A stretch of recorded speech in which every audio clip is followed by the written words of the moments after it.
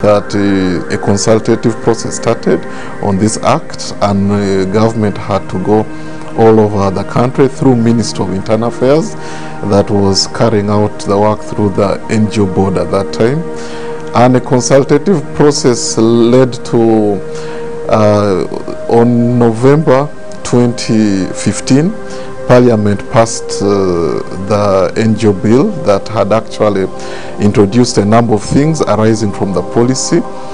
And the law required that the president has to assent to it. And uh, on the 30th of January 2016, the president assented to it and brought into force what is called the NGO Act 2016.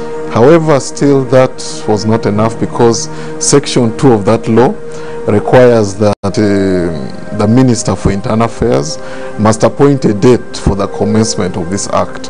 And the Minister appointed 14th March 2016 as the date for commencement of this act. And that is when actually the NGO Act 2016 came into force. And one of the key things he did was to introduce the National NGO Bureau that has got a mandate to register, regulate, monitor, inspect, um, oversee all the operations of the NGOs in this country. So that is where the journey of the National NGO Bureau starts.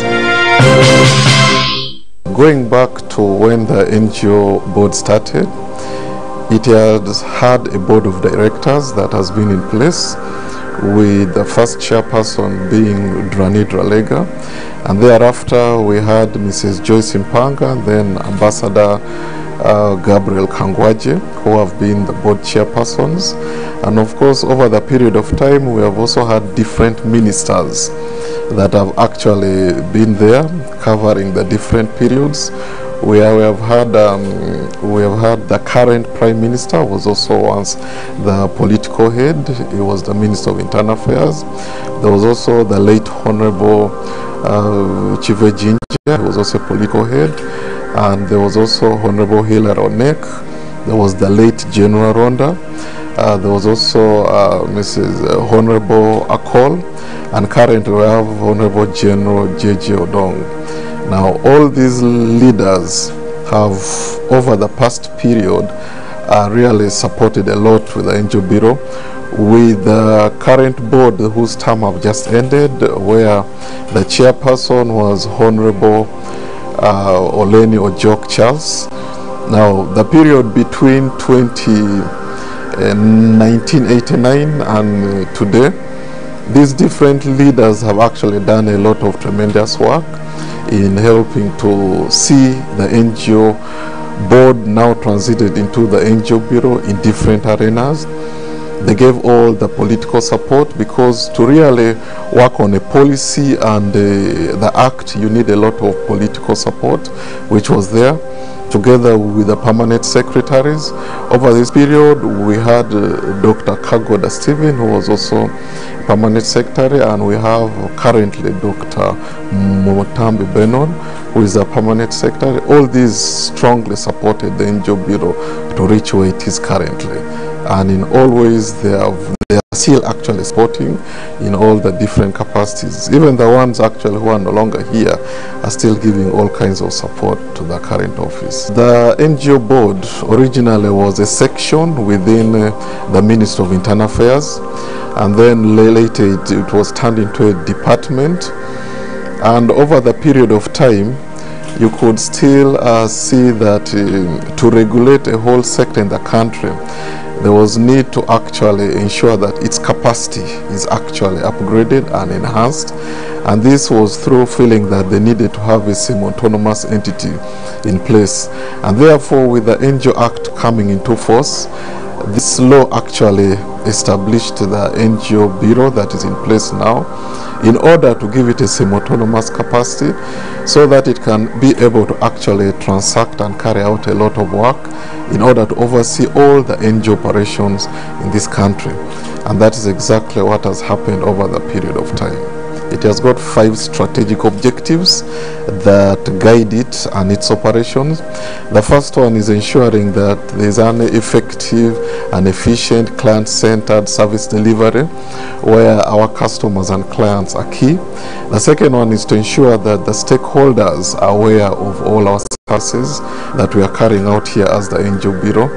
The third one is to ensure that um, the legal framework and the, the policies and the laws in this country actually strengthened to ensure that all the NGOs in this country are operating in a streamlined manner.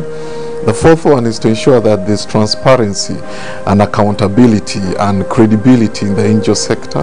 And that's what actually guides our strategic direction. And the last one is to strengthen the institutional capacity of the NGO Bureau.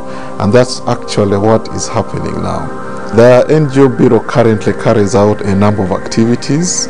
So one of them, of course, includes registration. We register all NGOs in this country because we have the national register that was opened over the period of time and that's where actually all the NGOs are registered.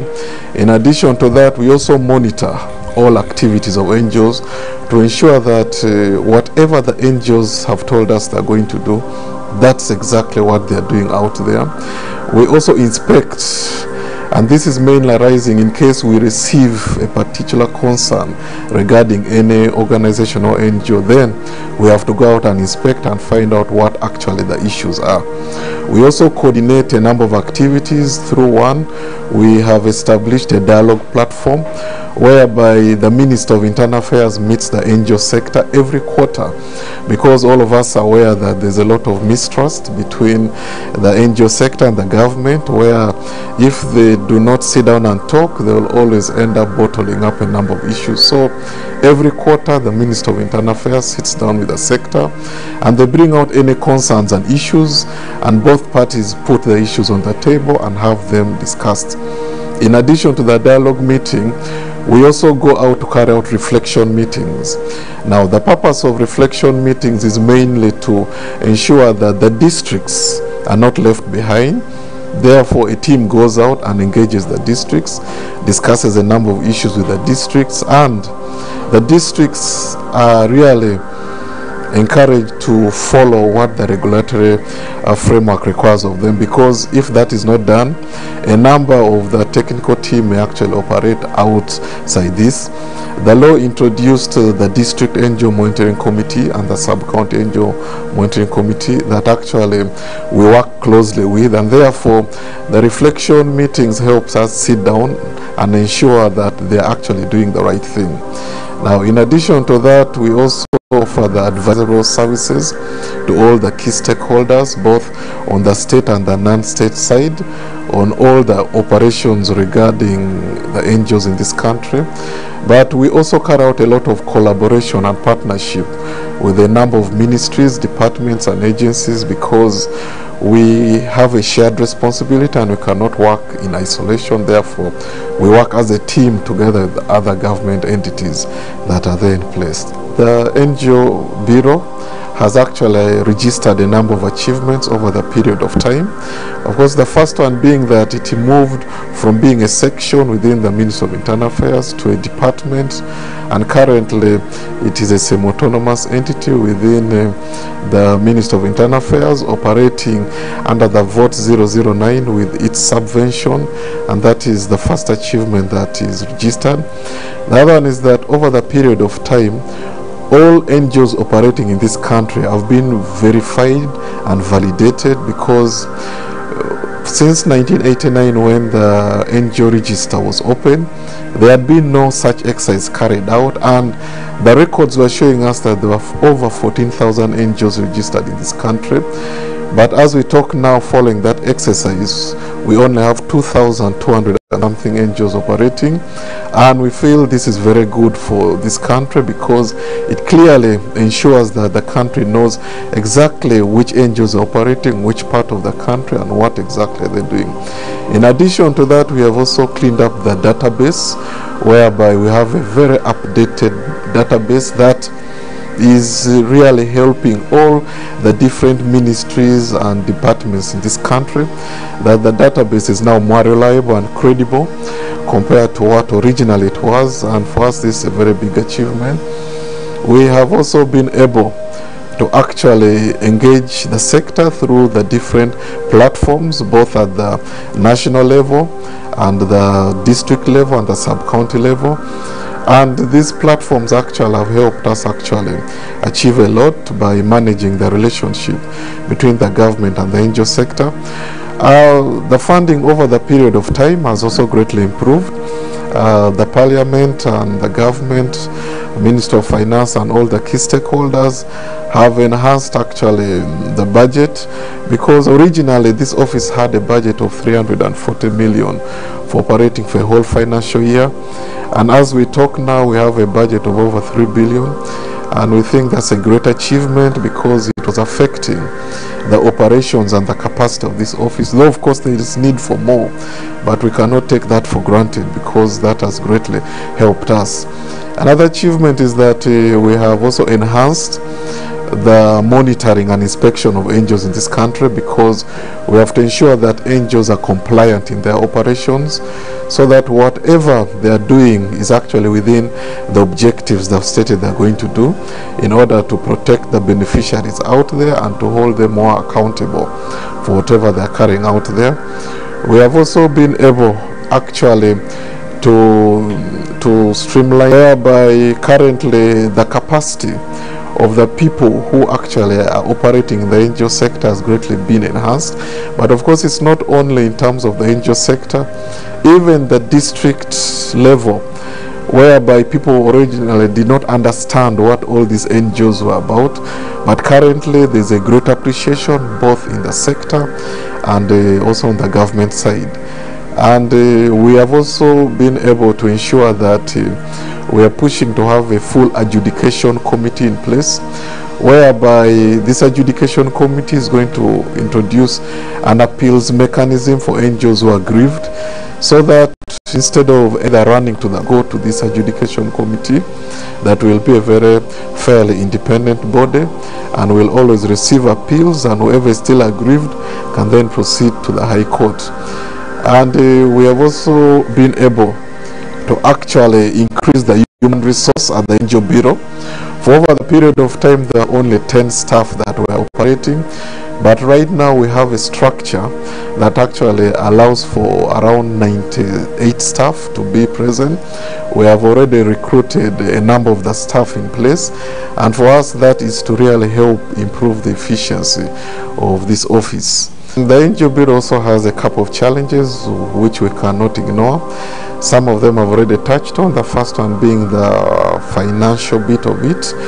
Uh, on every financial year, the Bureau needs around 21 billion to carry out its operations. Currently, uh, as I stated earlier, only has a budget of around. Therefore, we hope that uh, over the period of time we can actually secure additional funding from different sources to ensure that uh, we are actually effectively carrying out our work in order to achieve our mandate. We are also um, having other challenges where one of course is the element of the mistrust that is there between um, the government and the NGO sector. And that's why you see all over the media there's always a lot of things coming out. And uh, to address that as stated earlier we have put in place the dialogue platforms that uh, are really to help us engage and discuss and bring out whatever issues are there between the sector and the government. Uh, in addition to that, another challenge is that originally we had a challenge of office space whereby we were, um, were housed within the Ministry of Internal Affairs. But currently, that has been addressed whereby we have moved to new office premises on the third floor of Kingdom Kampala where we have a fairly uh, adequate office space that can accommodate all these new staff that are being brought on board and therefore we only hope that one day one time we can actually move to a home where we can stop the renting because it will become uh, more expensive in the long run but also another challenge of course is that we will need more equipment because the fact that NGOs operate countrywide you need to be in every corner in order to ensure that you're actually carrying out your work and you have the right equipment, the vehicles to move around, and you can actually engage all these sectors. Uh, the other challenges, of course, that were faced was that uh, there was a lack of coordination between a number of stakeholders, whereby a number of stakeholders were working in isolation. But as I stated earlier, that has been addressed. We now have more engagement, and all the stakeholders are working as a team, which is very good for the country as a whole at the end of the day. Yes, uh, over the period of time, a number of concerns, of course, have arisen regarding the operations of the NGO sector. Of course, the fact is that uh, the NGO sector faces a very acute financial challenges that has actually pushed them to a lot of competition amongst themselves. These financial challenges has actually made us see a very high mortality rate between the, whereby the NGOs that have the passion to come and carry out anything they want to do end up closing. Others even do not even start at all whereby they come and register you with all the excitement to go and serve their communities. But because of the financial challenges, this has really crippled a number of the activities. Recently, you saw when the government suspended the operations of DGF, there was a cry from a number of them on how uh, it was going to affect the operations. And of course, over the period of time, we have also seen these finances really affecting the NGOs and making them to do everything to achieve them. But of course, this also takes us to another challenge. And another challenge is that uh, these NGOs, because of the limited resources, are secure over 95% of their funding from outside the country, which is a foreign source. And that, of course, has led to a number of issues. Number one, it has led to a sector that currently is becoming supply driven.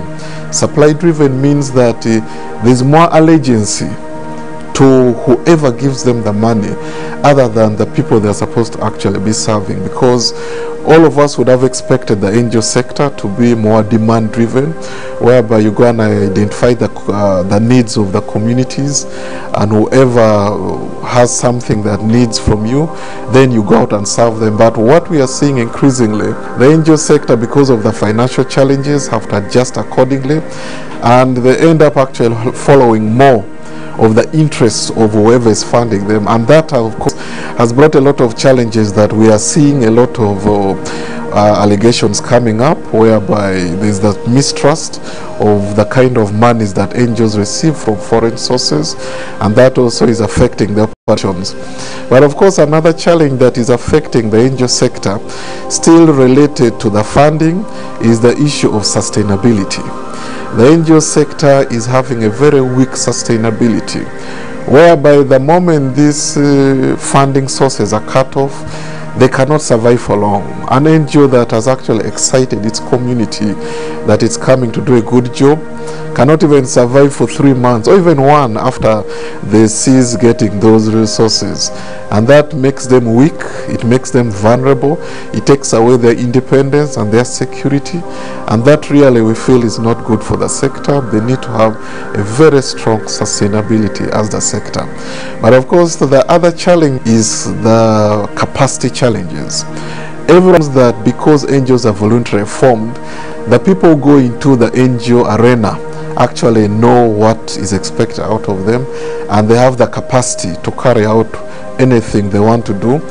But unfortunately, what we have seen over the years that we, the NGO Bureau has been there, we have seen a founder member, no, a founder member syndrome that actually greatly affects the sector, whereby whoever starts it wants to be everything in the organization. They want to be on the board, they want to be in the management, they want to control the finances. Uh, they want only either their families to be in charge, a relative here and there. And we feel that is not good for the sector and all this comes back to the capacity.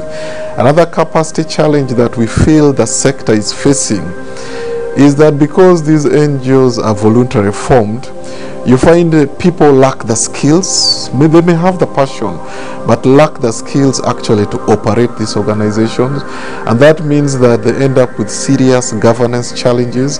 And that's why they keep running into trouble with the NGO Bureau because they go out there and end up doing the wrong things because they do not appreciate that they need to have some skills on how to manage funds, how to really run the governance components of their of their operations. But of course, uh, lastly, challenge that we feel is greatly affecting the sector is lack of the ability and the capacity to constructively engage the government. And in addition to that also we feel that they also lack the capacity to really bring out technical issues to really engage the government. We have seen a lot of emotions and mixing issues here and there, political and how we feel NGOs would really stick to issues that are within their mandate and also issues that are technical in nature so that if you are really bringing issues related to water or education or environment and you're engaging the government on, I think that would really be a very good arena. But we see more and more number of NGOs being weighed into the political arena, and yet, according to our laws, NGOs are supposed to be non-partisan. They are not supposed to be seen even supporting any political party or candidate. How we hope that NGOs constructively engage the government on all the key issues that they want to bring out. For every NGO to operate in this country, there are some yardsticks that we follow. The first one is that it should be voluntary formed. That means no one should have coerced you into forming that organization. In addition to that, you should also be non-profit making. Though of course we have section uh, 46 of the act that gives an exception, but you must come with a, an agenda that is non-profit making. You should also be really coming to offer voluntary services to your communities, meaning that uh, the services are the ones you feel that no one is coercing you to go out and offer. So the moment you come to the NGO bureau and you want to register, a number of requirements that we have a checklist and we have to cross-check that actually you have fulfilled them. First is that we want to see that uh, there are minutes of the founder members to ensure that someone did not sit in a corner and uh, come up with all these documents and is coming to just uh, really tell the bureau I want to really go and operate and you end up becoming a briefcase organization. In addition to that, we also want to see the work plan and the budget of exactly what they're going to do and where exactly they're going to do it and over the period of time.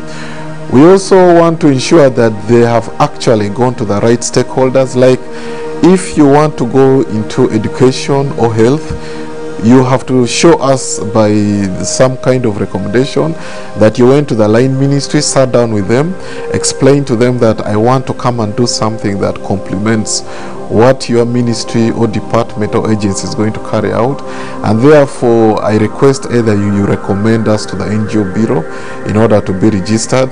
You should show us that you went and engaged the District NGO Monitoring Committee who actually are convinced you are going down to the ground to do the right thing. We also expect that uh, a number of the different stakeholders have carried out some due diligence on you and that is done at different levels, uh, right from the district, the sub-county, where we have from these committees that the this level with the DSOs who always carry out a background check and we have other stakeholders that also do that. Now, the moment you have put all this together, in addition to other requirements, you come to the NGO Bureau. First point is to cross-check with our checklist. Have you put all the requirements together?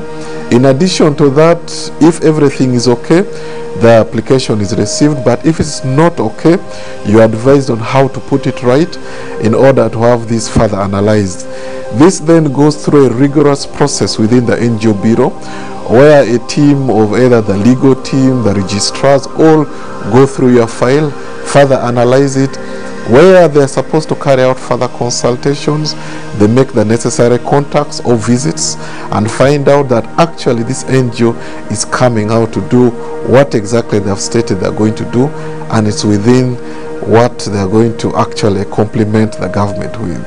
And then finally, if the NGO is convinced, you are really then given that document to go and operate. But to conclude on this, all NGOs operating this country must have three documents. The first one is a certificate of incorporation, meaning that you should be a legally constituted entity and you're a body corporate and you can transact in your capacity. But also in addition to that, you must have a certificate of registration that is issued by the NGO Bureau, whereby you must really show that you appear on the national register for all NGOs in this country. And lastly, you must have a valid NGO permit, whereby if your permit is not valid, then you are not allowed to operate. So no NGO must operate in this country unless it has all those three documents. And this applies to all the five types of NGOs we have indigenous NGOs, we have regional NGOs, we have uh, continental NGOs, we have international NGOs, and we have foreign NGOs that are operating out there. But of course, the last category are what we call the small NGOs and those are the community-based organizations, the CBOs. Now, the CBOs operate only at sub-county level, meaning that we do not expect a CBO to operate at district level or past that. The way forward that I would really request from the NGO sector is that they really focus on the issue of sustainability because we are seeing that over the period of time we are seeing actually COVID has actually actually worsened the situation where more funding is being cut from the different sources NGOs we are getting from. I really request that the NGO sector works on their sustainability and they should take advantage of section 46 of the NGO Act where it permits NGOs that in addition to being non-profit making, you can still open an income generating component that helps you actually raise resources for this organization. So we want really to see NGOs becoming more and more self-sustaining so that they can actually stay much longer and serve their beneficiaries. But also we would love to see the NGOs build its capacity. Coming on the side of the um, political arena, I think uh, the NGOs should always be able to also draw a line on the engagements they can have with the government because there's always a thin line between them actually crossing some lines and being mistaken to actually be fully engaged in political activities. So I think the NGO sector should also carefully look through the objectives and ensure that they are not actually crossing some lines and swaying into areas they are not supposed to do. But uh, on the NGO Bureau side, the future of the NGO Bureau, number one and the top priority is automation. We really want to automate all our services. Currently, much as we have registered all these achievements, we want to really reach a point where all our services are automated. People don't even have to walk over to the NGO bureau. It's even more needed in the COVID arena where physical contact is being minimized. People can do everything online, register online, uh, ensure that they file any document the Bureau needs online, and they're also able to get feedback right where they are in their offices in different parts of the country. So we feel really automation is our key priority, but also another key priority is to ensure that we continue ensuring that all the key stakeholders are working as a team because we do not want any key stakeholder to either take action or decisions without effectively consulting the other. So we really feel that is something key, but also uh, enhancing the capacity of the NGO Bureau is a key priority, whereby we want to bring on board the right kind of people who can actually carry out technical in whatever they are doing and also building it further to ensure they understand what exactly they are doing. And of course, lastly, in form of appreciation, I want to start by thanking the President, of course, for spearheading and ensuring that the NGO Bureau has reached to wherever it is by having the right regulatory framework and having the right uh, systems in place that are actually are carrying out its work now.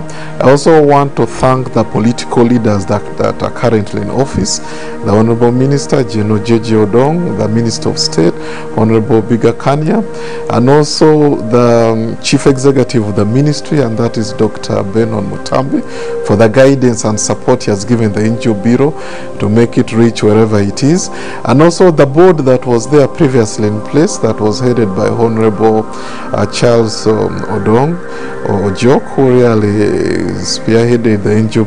And currently, as we wait for a new board to be put in place, we also hope that uh, the new board comes in and actually pushes the momentum. And of course, we also want to thank the other stakeholders that we work with. uh, both from the state and the non-state actors that we have a shared responsibility and working together is something that is very key for all of us because at the end of the day it is our country Uganda that we are serving and we must serve as a team and we feel we really need to work together.